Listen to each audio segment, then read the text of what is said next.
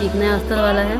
तो किस तरीके से कटिंग करना है, किस तरीके से स्टिच करना है, बहुत ही अच्छी फिनिशिंग आई है बहुत ही प्यारा लग रहा है। तो आपको अगर इस तरीके का प्लाजो पैंट सीखना है, फुल घेरे वाला तो आप जाके देख सकते हो, फुल स्कर्ट की तरह लगता है लॉन्ग स्कर्ट की तरह। तो बहुत ही ईजी है, बहुत आसानी से आप इसको बना लोगे।